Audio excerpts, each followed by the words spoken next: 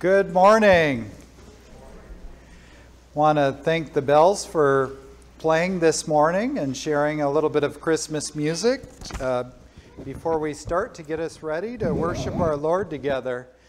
Well, with that said, let's sing another wonderful hymn. This is Joy Sunday. We're going to watch the uh, third, the pink candle lit today. And so we sing for joy, Hark the Glad Sound, hymn 349. And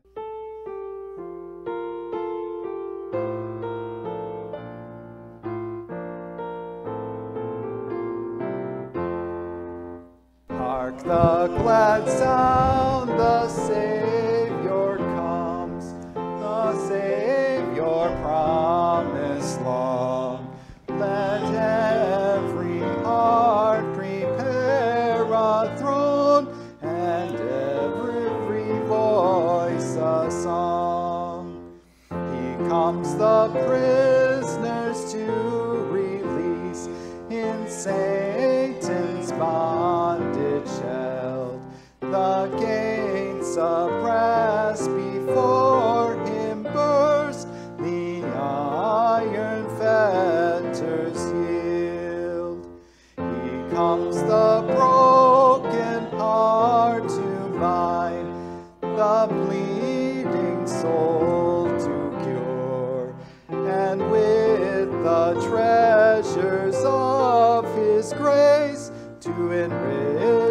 humble poor. Our glad hosannas, Prince of Peace, thy welcome shall be joined, and hence eternal arches ring with thy beloved name. If you're able, would you please rise? We're going to follow the order on page six in the hymnal supplement, which is uh, before us. In the name of the Father, and of the Son, and of the Holy Spirit. Amen. If you, O Lord, kept a record of sins, O Lord, who could stand? But with you there is forgiveness, therefore you are feared. We take a moment of silence to reflect on our sins.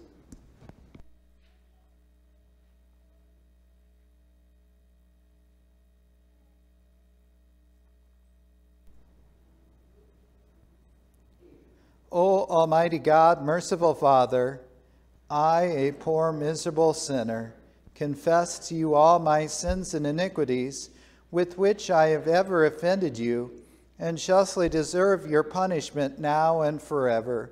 But I am heartily sorry for them, and sincerely repent of them. And I pray you of your boundless mercy, and for the sake of the holy, innocent, bitter sufferings and death, of your beloved Son, Jesus Christ, to be gracious and merciful to me, a poor sinful being. Upon this, your confession, I, by virtue of my office as a called and ordained servant of the word, announce the grace of God unto all of you. And in the stead and by the command of my Lord Jesus Christ, I forgive you all of your sins in the name of the Father, and of the Son, and of the Holy Spirit. Amen. We'll continue now with the introit as it is printed before us. Show us your steadfast love, O Lord, and grant us your salvation.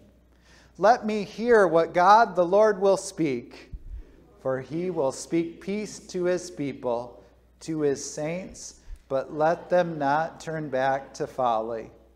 Surely his salvation is near to those who fear him that glory may dwell in your land.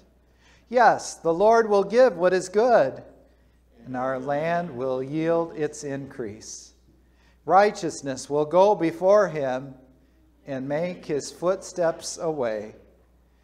Glory be to the Father, and to the Son, and to the Holy Spirit, as it was in the beginning, is now, and will be forever. Amen. Show us your steadfast love, O Lord, and grant us your salvation. We sing together. Lord, have mercy on us. Christ, have mercy on us. Lord, have mercy on us. May be seated. I know it's not printed up there, so I'll leave it on this screen, but we're going to light the three Advent candles. The, of course, hope and peace, the second candle, and the third one today is joy. But while we do it, we're going to sing one verse. You're going to have to do it by memory, so this is going to be good practice. Of O come, O come, Emmanuel, and ransom captive Israel. So I think you can do this, and you know the refrain. So let's sing together.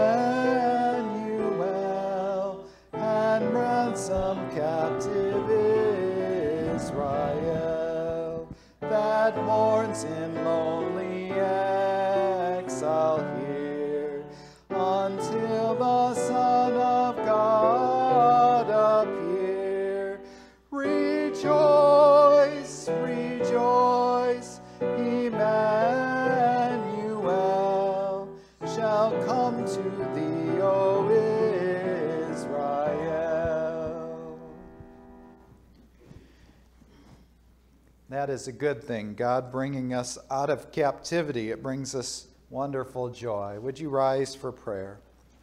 The Lord be with you. Let us pray. Lord Jesus Christ, we implore you to hear our prayers and to lighten the darkness of our hearts by your gracious visitation. For you live and reign with the Father and the Holy Spirit, one God now and forever. Amen. You may be seated for the readings.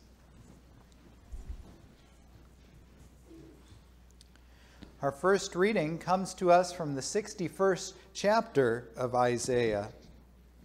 The Spirit of the Sovereign Lord is on me because the Lord has anointed me to proclaim good news to the poor.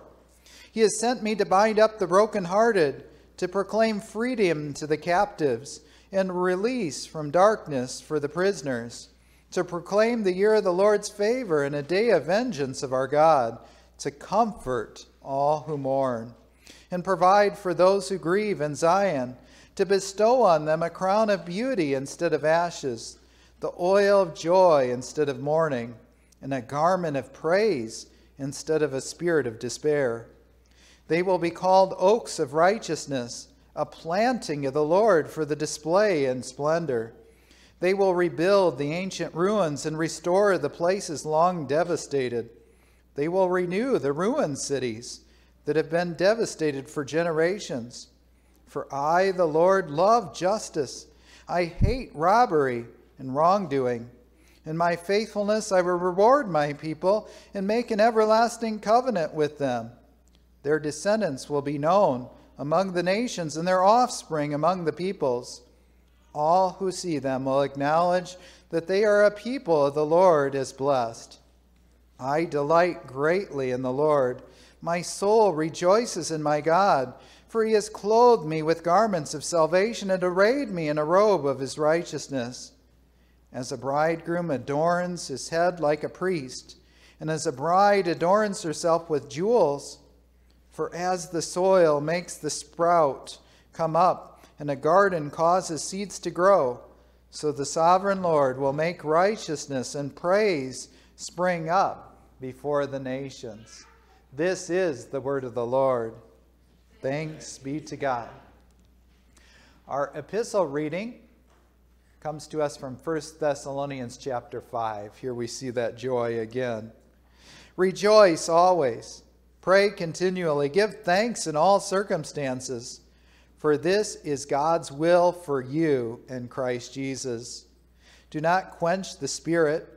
Do not treat prophecies with contempt, but test them all. Hold on to what is good. Reject every kind of evil. May God Himself, the God of peace, sanctify you through and through. May the whole, your whole spirit, soul, and body be kept blameless at the coming of our Lord Jesus Christ. The one who calls you is faithful, and he will do it. This is the word of the Lord. Thanks be to God. If you're able, would we rise and singing the Alleluia? Alleluia, Alleluia,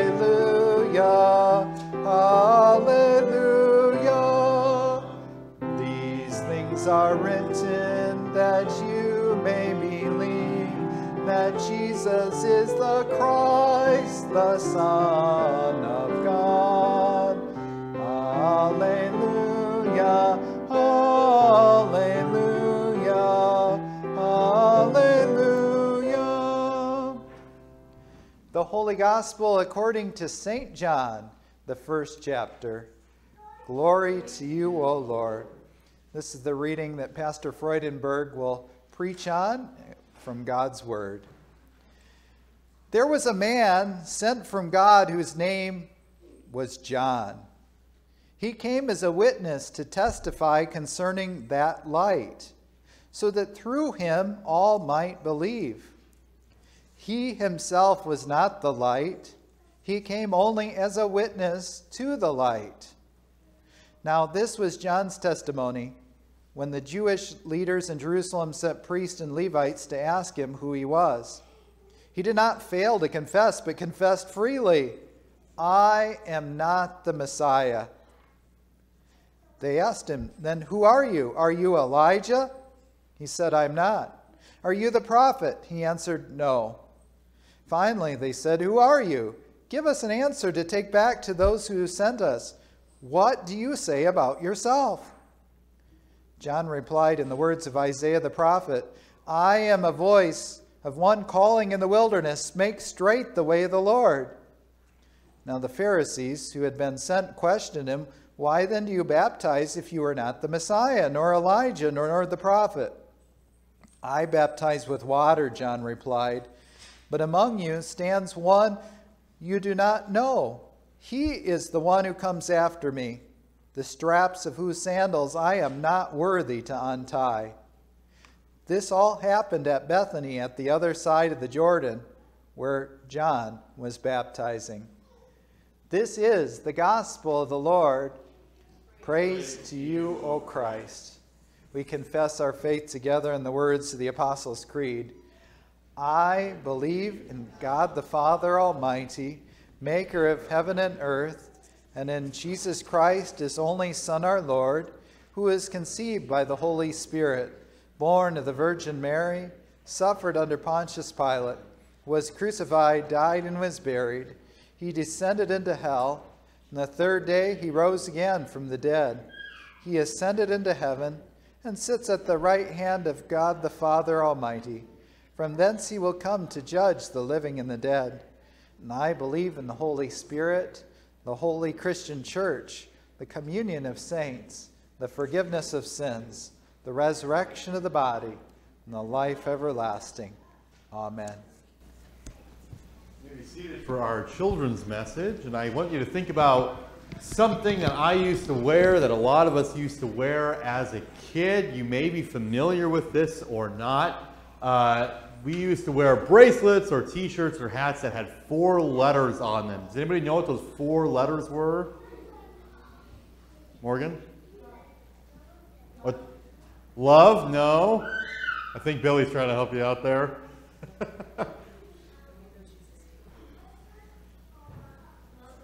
what would Jesus do? Very good. A little assist from the parents is always good. Uh, WWJD. What would Jesus do? The idea is you would wear something like a bracelet, right? And if at any point in your life you were in a tough situation, you could look down and think, what would Jesus do in this situation? How would Jesus respond? Uh, but Pastor Travis just read another story from the gospel that involved another person whose name begins with J. Does anybody know who that was? John. Very good. John the Baptist. John the Baptist. He came not to tell people, not to forgive people's sins, not to heal people, but to tell people about Jesus. It says that he was a witness to the light. That is, John served as a witness. He told other people about the light, about Jesus Christ. So when you think of those four letters, WWJD, think not just of Jesus, but think what would John do? What would John the Baptist do? Well, he would tell people about Jesus. He would be a witness to Jesus. And so that's what we're going to pray for. We're going to pray that God would help us to tell others about Jesus and witness to him in our lives. Can you fold your hands, close your eyes as we quiet our thoughts, quiet our hearts and minds as we prepare to talk to God. Heavenly Father, we thank you that you sent Jesus uh, to do what we could not do, to live a perfect life and to earn this free forgiveness that he gives to us. Lord, help us to be a witness to him, to tell others about him in every aspect of our lives. In his name we pray. Amen. We now continue by singing our hymn of the day, a hymn that reflects our reading from the book of Isaiah from last week. Isaiah 40, Comfort, Comfort Ye My People.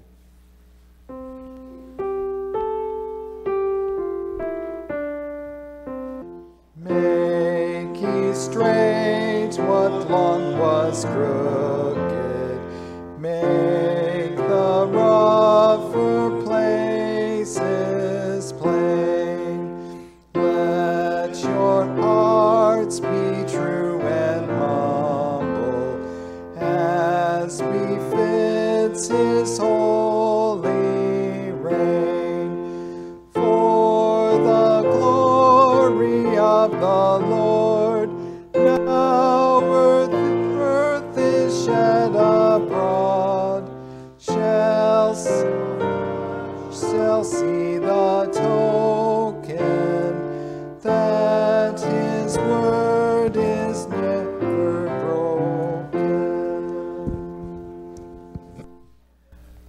mercy, and peace be unto you from God the Father and our Lord and our Savior, Jesus the Christ.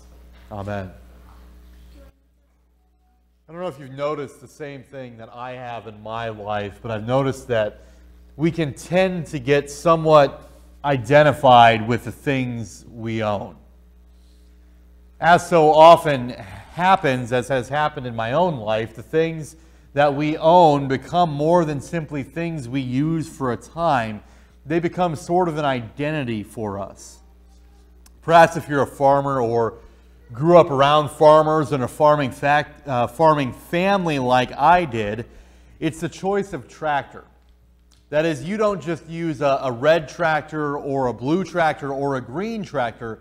Instead, you're a, a New Holland guy or a Case IH farmer or a John Deere man or a John Deere woman. Maybe it applies to cars. You don't simply drive a Ford truck or a Chevy truck, but whatever vehicle you drive becomes a part of your identity.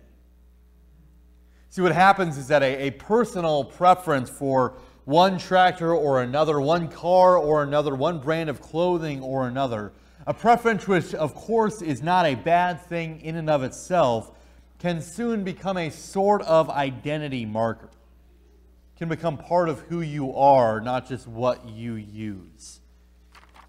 And companies are picking up on this. There's a relatively new movement in marketing called lifestyle brands. Lifestyle brands, brands that seek to sell you not just a product, not just something you use for a time, but a way to live, a way to belong, being part of a community of their customers who live the same way, have the same goals, hopes, and aspirations. A Creative.com article from this past July describes lifestyle brands in this way quote, You're not just selling a physical item, you're selling the way of life behind it. For example, if you're selling a new fitness tracker, you're not just selling the tracker, You're selling the active lifestyle clients want when they buy the product. End quotation. You sell or buy not only the product, but the lifestyle. In this case, an, an identity as an active, healthy person. So just do a little brainstorming with me this morning and think of perhaps two to three brands that come to your mind when you think of lifestyle brands, brands that excel not just at selling a product, but a way of life. Take maybe 10 seconds and think of two or three lifestyle brands in your mind.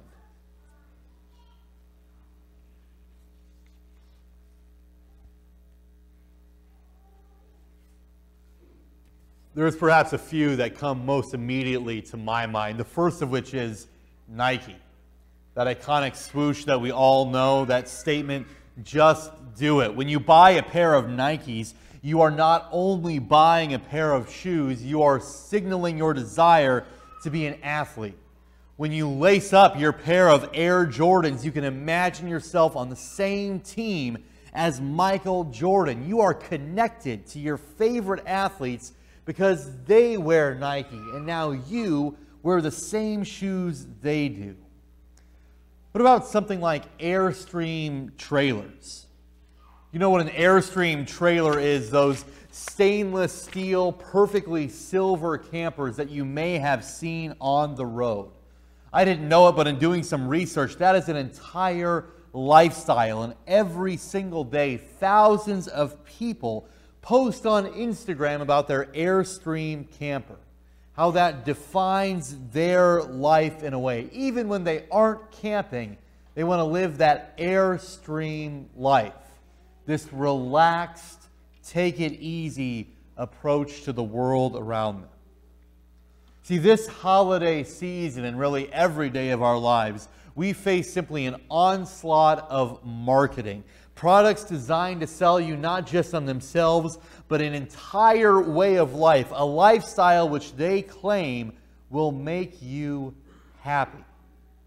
Brands no longer just want to sell you shoes, a watch, some jewelry, whatever it may be. They want to sell you an entire way of life and claim you as a lifelong customer because your identity become so tied up in that brand.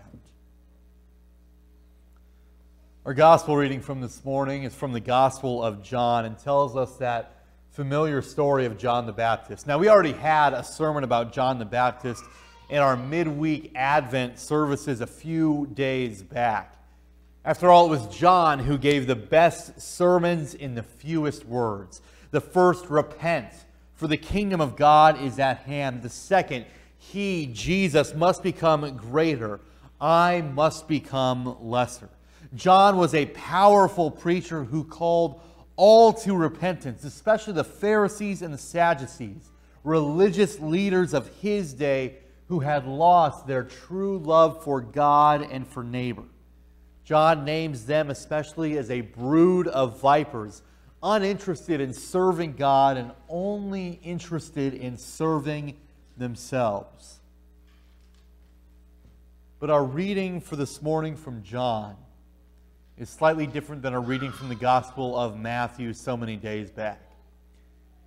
And it presents us with a slightly different picture of John. John is not important in the first place for who he is, for what he does, or even what he preaches. John is important because of who he is not. If you have your bulletin this morning, take it out and take a look at our reading, especially starting in verse 19. The Jewish leaders, those same leaders that John would later call a brood of vipers, he would name them as whitewashed tombs, they come to him to ask him who he is.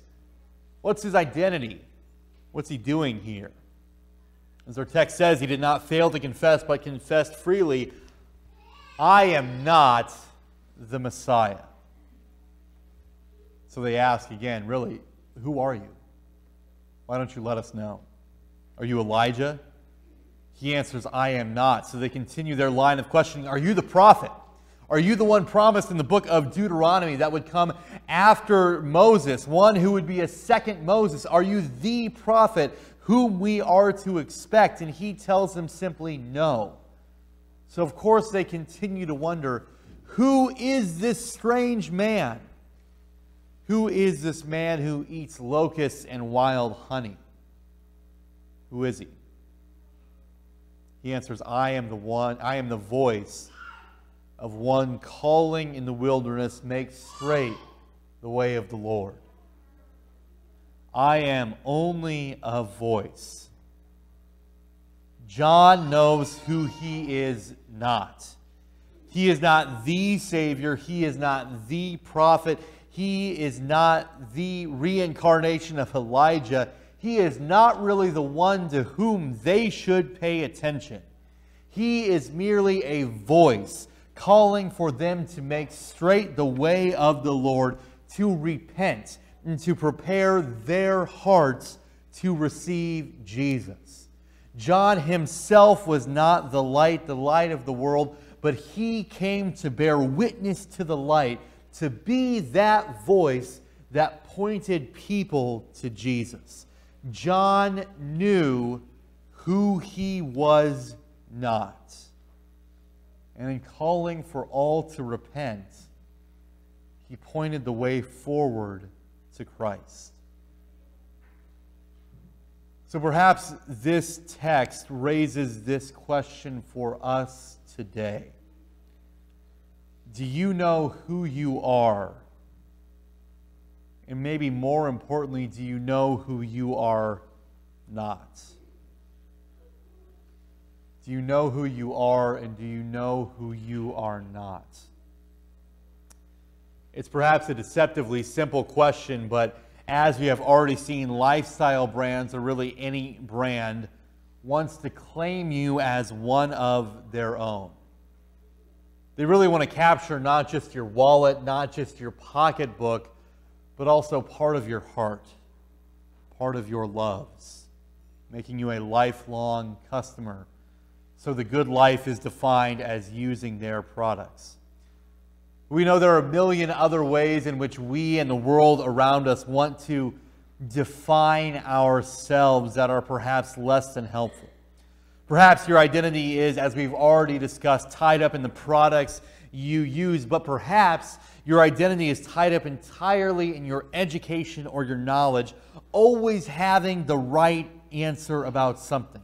Perhaps your identity is tied up in your vocation, your job, your career. Maybe your identity is tied up in our political affiliations or our friend groups. Whatever it is, it can be so tempting for us to want to stake our very identity, our lives, and our meaning on all of these things.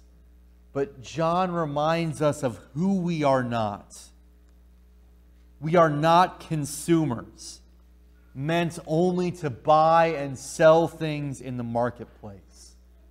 We are not defined by our past sin. We are not simply the product of our past history and our mistakes. We are not caught up in the rest of the races of the world, seeking to gain more and more power in the race, in striving for more goods and more authority so that we can rule over a certain group of people. No, John reminds us that we are none of those things. That our most important identity is that we belong to Christ, to the one that he pointed to, the one his voice spoke for. Only Christ paid for you by his blood. Only Christ claimed you as his own and has authority over you. You do not belong to the world. You do not belong to the power of sin outside of you or inside of you. Who are you? You are Christ's. You belong to Jesus, who forgives your sin, who claims you as his own. And the same Jesus sent the Holy Spirit to empower you today in his service. Your life is no mistake. You do not exist merely to consume and to be consumed by the world, but Jesus has a purpose for you. As we talked in our children's message earlier, we used to see those bracelets quite frequently that had those four letters on them WWJD, which would stand, as we know, for what would Jesus do?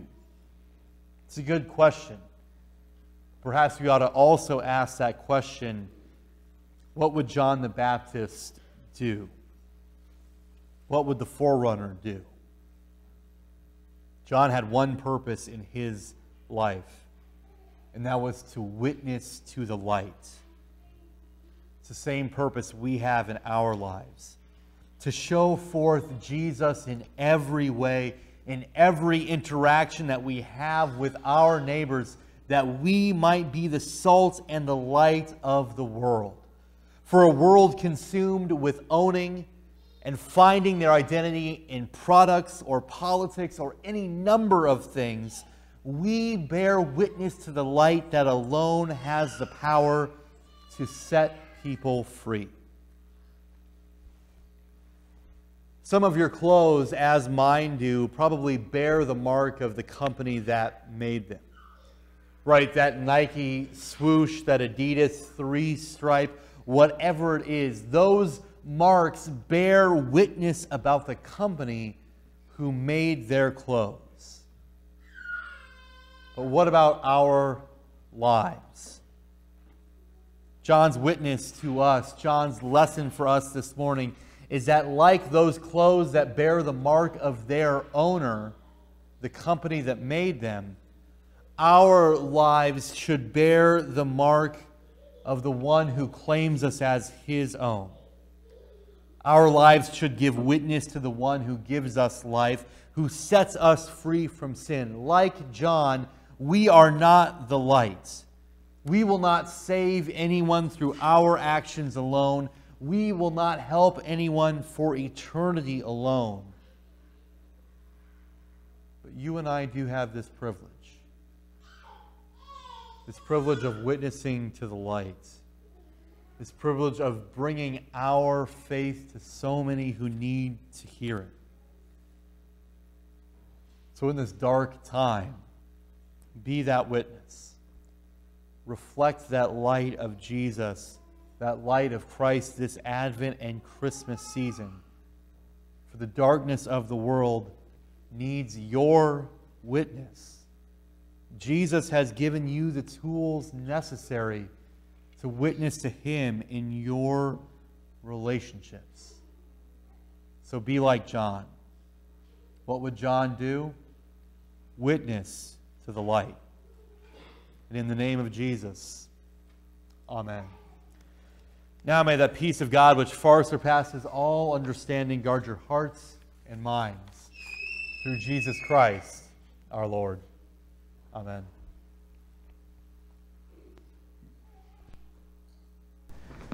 continue with the offering. We offer up our tithes and offerings to the Lord. There is a basket at the entrance and also online at calvaryleeds.com. At this time, though, would you please rise as we prepare to offer up our prayers to God?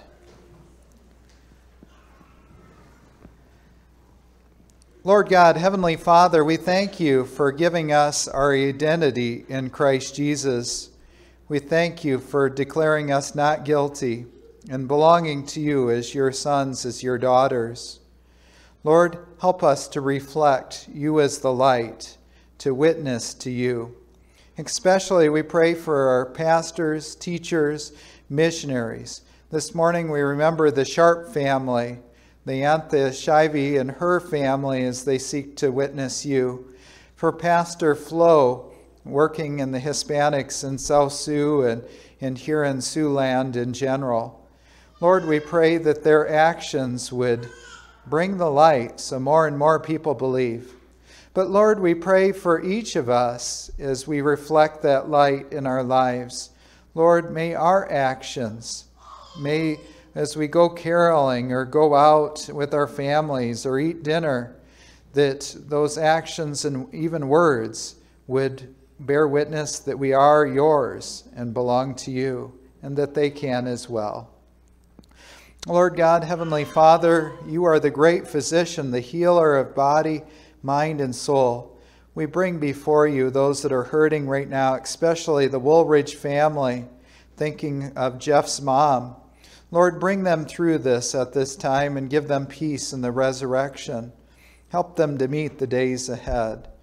Also, be with Joe Hutton as he finds himself alone in the hospital with COVID 19. We pray for miraculous healing and that he might return home soon. We pray for those others that have asked our prayers, especially this morning for Charlie, Kent, Devin, Beth, Amy, Blake, Jeff, Sarah, Lynette. We pray for the frontline workers in the hospitals and the, our military and government. Lord, we think of Psalm 91 that you will be with us in the deadly pestilence and not let it harm us. We pray that you would hold to your promise and guard your people in your church that, and bring an end to this virus and all of its implications. Lord, we pray in that regard to our government and all that goes on at this time for our president and governor, our judges and state and um, national legislatures, and our local leaders. We pray for wisdom to each of them that we might live in peace. And Lord, be ultimately their God and help us to rest under you ultimately is our leader.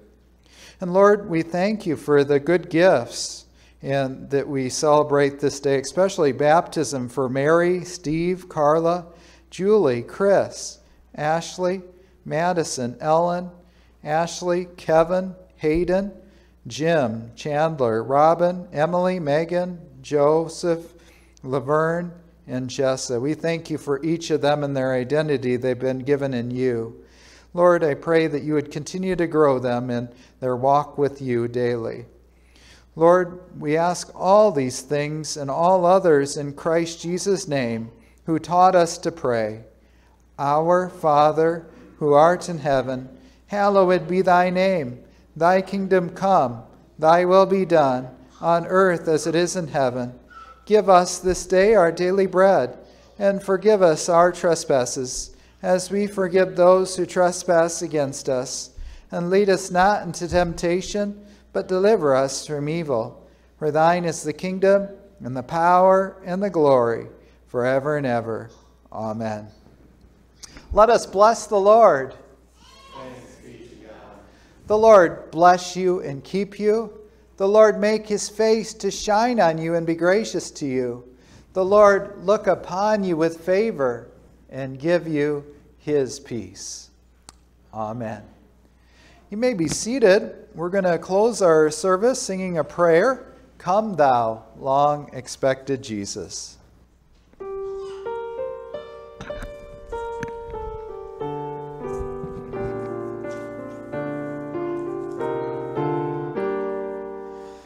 Come, thou long expected Jesus, born to set thy people free. From our fears and sins release us, let us find our rest in thee.